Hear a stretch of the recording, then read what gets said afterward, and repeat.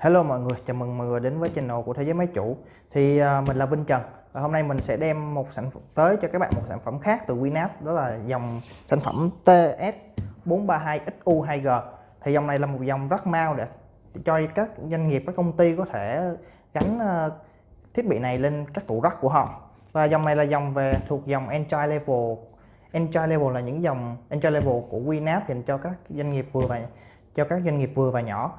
Uh, nó cũng ờ, nó trang bị một phần cứng vừa phải để cho các người người dùng doanh nghiệp có một một không gian lưu trữ. Và thì sản phẩm Winamp sẽ hộp sẽ gồm như vậy. Và sản phẩm ờ, các bạn lưu ý là sản phẩm Winamp thì thông, cái dòng rất mau thì không không có kèm reo để bắt lên tủ rắc thì các bạn sẽ cần phải đặt thêm một cái ờ, thanh trượt reo giống như vậy. Thì ở đây là thanh trượt reo B02 đó, các bạn nó sẽ gồm như vậy, cũng khá rất là khá khá là nặng. Và hộp của con TS 432SU nó sẽ gồm như vậy. Đối với mình, tính ra đối với mình thì nó khá là nhỏ so với các hộp của Saver hay là các con ờ, nắp chạm bắt mao khác. Rồi, tiếp đến mình sẽ mở hộp trong sản phẩm này.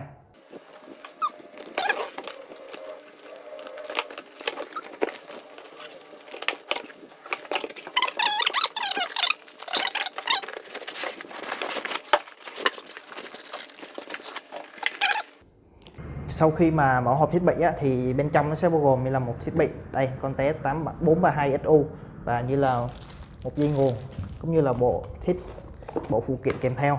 Đối với dòng TS432SU á, thì không chỉ là các ốc vít để như đây là sách đây là sách hướng dẫn hay là vít để gắn vào các ổ đĩa các ổ đĩa vào cái chay của, của thiết bị.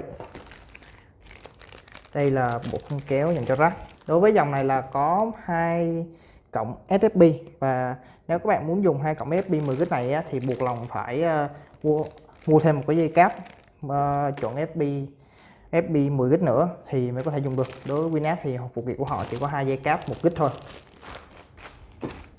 Đây tay tay kéo. Đó, đó tất cả cái gì mà phụ kiện của, trong hộp của Winamp đó và đó là tất cả cái gì phụ kiện trong cái hộp phụ kiện này. Rồi bây giờ xong rồi mình sẽ bỏ qua. Thì uh, ở mặt trước này sẽ gồm là ở trên mặt trên đây sẽ gồm là như các điện báo cũng như là khay để chứa bốn ổ cứng. Và ở như ở đây có thấy là nút nguồn. Ổ cứng thì khay nó chỉ cần kéo ra có thể mở được cái khay ổ cứng này. Đó cứng sắt. Cũng có thể là đối với ờ, dạng dạng khay ổ cứng này thì có thể gắn được vừa gắn được hai chuẩn đó là vừa chuẩn 2.5 và 3.5 luôn. 2.5 thì sẽ gắn 4 vít ở đây. Đó, còn 3 còn 3.5 thì gắn so gắn bút vít ở đây, để thể cố định được ổ cứng để gắn vào thiết bị. Còn mặt ngang này, đó cũng như hai bên giống giống nhau như vậy thôi. Là để bắp được cái reo, cũng như reo B02 ngoài đây, để có thể gắn lên ờ, tủ rác và mặt sau của thiết bị thì sẽ bao gồm là nguồn. Ở thiết bị này thì sẽ có một nguồn như vậy, nên không thể hot warp được. Nếu mà hot warp thì không, thì thiết bị sẽ không hoạt động. Nguồn và ở đây là ta thấy là có rất là nhiều cổng USB 4 cổng USB 3.0 hai cổng mạng 1 gig. Và đặc biệt đối với mặc dòng mặc dù là dòng NAS Entry Level nhưng nó có tích hợp sẵn là hai cổng 10 gig FFP cộng. Rất thích hợp cho các doanh nghiệp mà có khả có doanh nghiệp mà nhỏ nhưng mà lại trong tương lai họ có thể nâng cấp hệ thống mạng, thống mạng của mình lên 10 gig thì vẫn có thể tận dụng được thiết bị này trong tương lai. Mặc dù là có bốn ổ cứng thôi nhưng mà bản thân ờ, nó có thể là gắn được các ổ từ rất ổ có dung lượng lớn như là 10, 10 12, 14, 16 T.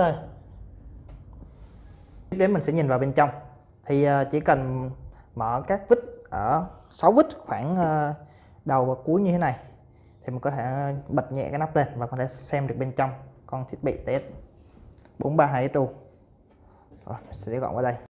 Rồi ta đó sau về bên trong con thiết bị này ta có thể thấy dễ dàng như là các linh kiện chính của nó như là CPU thì đối với dòng TS432 XU XU2G này thì nó trang bị một bộ vi xử lý là Anabuna Lab AL324 có kiến trúc là ARM 64 bit, có xung nhịp là, có 4 core và xung nhịp là 1.7 GHz.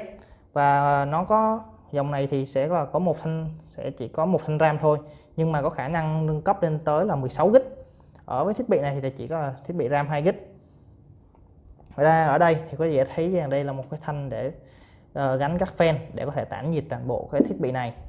Ở đây là phần bắt lăng. Bắt lăng này chỉ để là cái một cái khớp nối để cho ổ cứng để cho thiết bị có thể nhận ổ cứng vô nó cứng trên đây. Đối với uh, ở đây là cũng như thế đây là dễ dàng thấy được cái bộ nguồn chính của thiết bị này. Thì bộ nguồn này có công suất khoảng là 200 250W do nó sử dụng CPU Annapurna Lab do kiến trúc ARM nên nó cũng nên ờ, việc sử dụng điện nó ít hơn nên bộ nguồn 250W là đã, đã đầy rất đầy đủ rồi.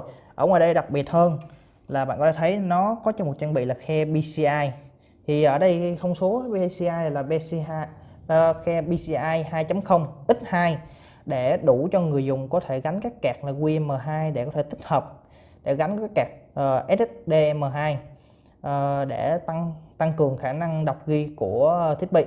Ngoài ra thì nếu người dùng muốn không thích ờ, không thích uh, các cổng quang SSD cộng thì có thể tích có thể gắn cạc 10G RJ45 thì có thể gắn card thông qua cổng này. Đó chỉ cần uh, gỡ một cái uh, mặt ở đây ra và gắn cạc vào là có thể nhận rồi mặt sau người ta như có thể thấy như là đây là hai cổng uh, mạng 10 GB FFP cộng như đây là các khối của mạng một uh, 4 cổng USB 3.0 và hai cổng 1 gig. đó là tất cả những gì bên trong và bên ngoài sản phẩm TSX TS432XU này dòng sản phẩm TS 432XU 2G này thì chỉ có mức giá dưới khoảng xâm sắp xỉ đó 19 triệu thôi thì ờ, rất thích hợp cho các doanh nghiệp vừa và nhỏ có thể trang bị trang bị lên tủ rắc của mình để có một không gian lưu, không gian lưu trữ dành cho các máy chủ hay là, hay để làm một thiết bị file server.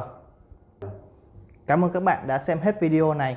Xin hẹn gặp lại các bạn ở video tiếp theo về Winamp trên channel thế giới máy chủ.vn. Uh, ờ, xin chào và hẹn gặp lại.